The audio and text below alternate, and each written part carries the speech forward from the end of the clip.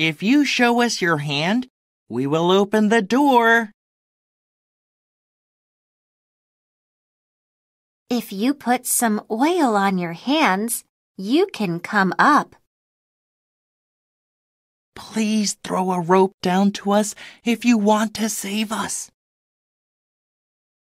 If you want to help me, please give me a rope too.